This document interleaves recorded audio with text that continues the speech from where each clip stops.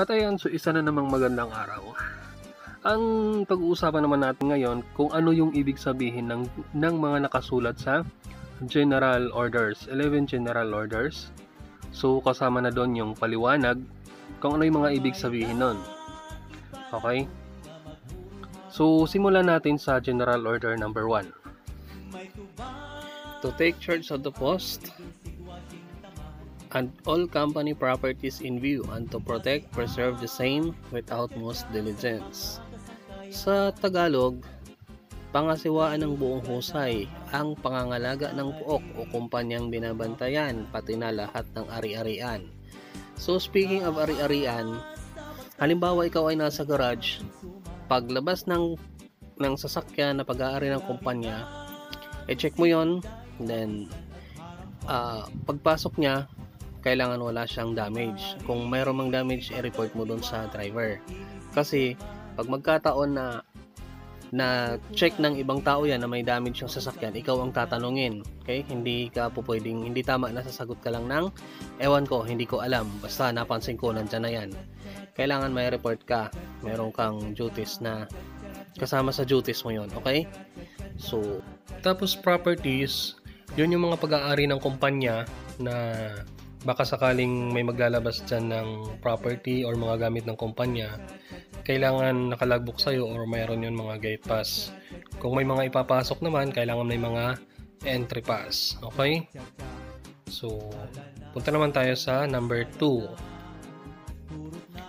To walk in an alert manner during my tour of duty and observe everything within sight or hearing So sabi sa Tagalog, lumakad ng laging handa at magmasid at makinig ng mabuti sa anumang mangyayari sa paligid. Okay, ito, uh, paano mo magagawa ang ganito kung habang ikaw ay nag-iikot, wala kang flashlight? Gabi, nag-iikot ka, wala kang flashlight. Or, nag-ikot ka man, nanonood, yung mata mo nanonood ng porn or nanonood ng nag nag-games or naka-headset ka, nakikinig ka ng radyo. So, sa tingin mo, uh, maririnig, makikita mo ba yung kung ano yung nangyayari sa iyong paligid? So, mali yon Kailangan uh, bukas ang iyong pag-iisip, presence of mind, yung mga common sense mo, gumagana sa time ng pag-iikot mo na yan. Okay? Number 3, to report all violations of regula- regulations or order I am instructed to enforce. So gagawan mo daw ng report ang lahat ng violations sa mga batas na iyong ipinapatupad.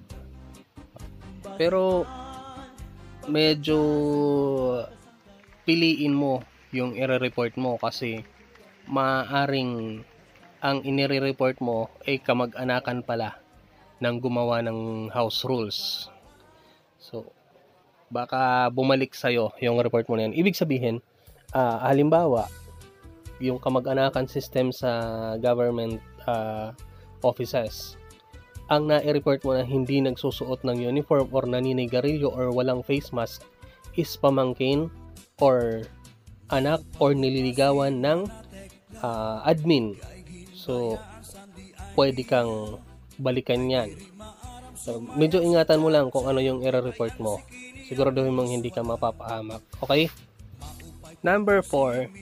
To relay all calls from post more distant from the guardhouse where I am stationed. So ito yung mga tawag sa halimbawa tawag sa radyo. Kung sa tingin mo hindi ano, hindi naririnig, ang tinatawagan is from point A to point C, then ikaw nasa point B, kung sa tingin mo hindi maririnig ng kabila, hindi nagre-response yung kabila, i-forward mo. Tumatawag yung head ay ano nyo, uh, ah, OIC nyo, tinatawagan si R3. Tapos, hindi niya marinig, forward mo. R3, R3, tinatawagan ka. So, yon Tapos, punta naman tayo sa number 5. General order number 5, to quit my post only when properly relieved. So, ito yung kapag ka naka-duty ka, hindi ka po pwedeng basta-basta lang lalaya sa pwesto mo. Lalo kapag ka single post ka. Yung ibig sabihin nun, wala kang kasama. Wala kang kasama sa pwesto mo. Hindi po pwedeng lalayas ka lang. kailangan magtatawag ka ng assist. Hindi rin hintayin mo na dumating yung assist bago ka umalis. Or i-endorse mo sa kanya kung ano yung mga uh, dapat i-endorse. Kasi halimbawa, pupunta kakain ka ng tanghalian, nadala mo pala yung nadala mo pala yung uh, driver's license na isang delivery. So, yan. Tapos, uh, dito nangyayari yung mga may nag-straight straight ng duty kasi hindi dumarating yung kapalitan. Hindi mo po pwedeng iwanan ang pwesto mo kapag wala kang kapalitan. Nang nangyari sa akin to, uh, ang palitan kasi pag minsan pagdating ng palitan, mag-briefing pa yan. So, hintayin nyo lang yung kapalitan nyo kasi briefing baka abutin ng mga 6.15 or 6.30 hintayin nyo lang. Hindi yung iiwanan mo yung baril, yung radyo, lahat ng i-endorse mo, iiwanan mo sa lapag.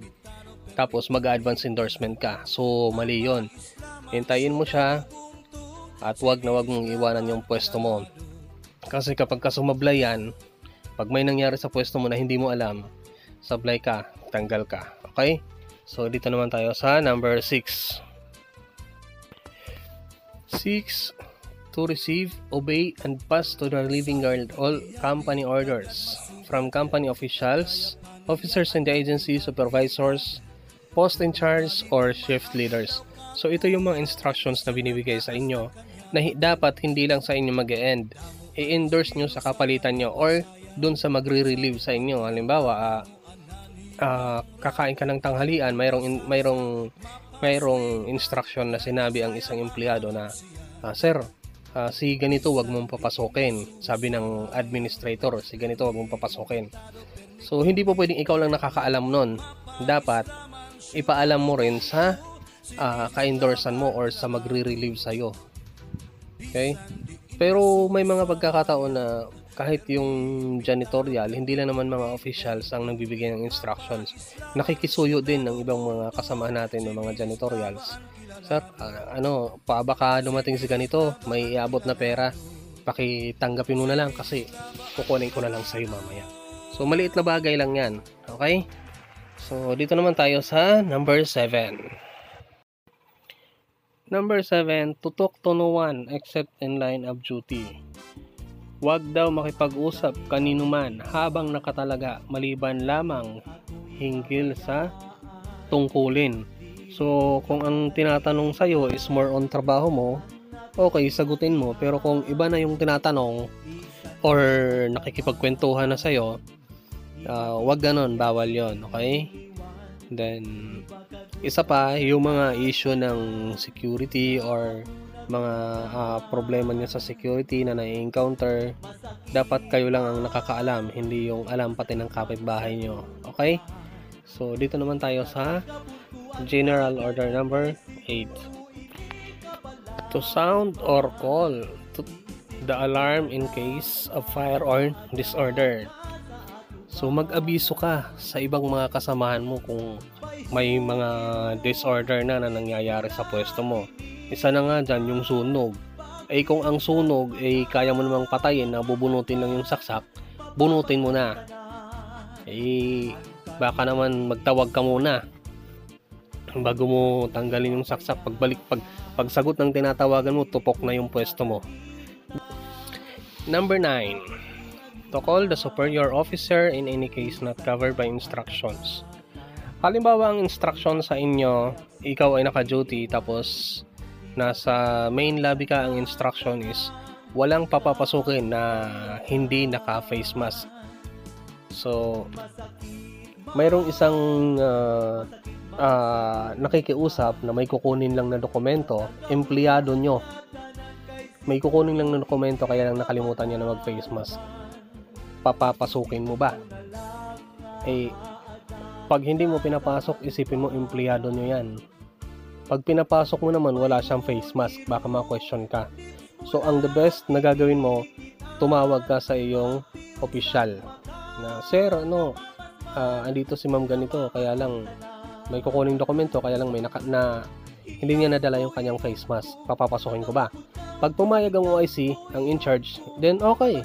At least, kung magkasisihan man, dalawa kayo. So yan, ah, sample lang yan yung regarding sa face mask. Marami pa ang mangyayari sa pwesto mo na ah, not covered by instruction. Okay? So dito naman tayo sa number 10. To salute all company officials, officers in the agency, ranking public officials, and officers in the AFP and PNP. So yan, yung saluduhan mo, yung mga official na yan na darating. Pati yung OIC mo kapag ka ano, ah, paparating bigay-pugay ka sa kanila. Yung mga official ng company. Kaya pag, pag ikaw binigyan ka ng duty or binigyan ka ng trabaho, nilagay ka sa isang detachment, kilalanin mo kung sino yung mga bossing doon. Kasi, ah, mayroong iba na may may mga ibang mga bossing ng company na nagsusungit kapag ka hindi nasasaluduhan.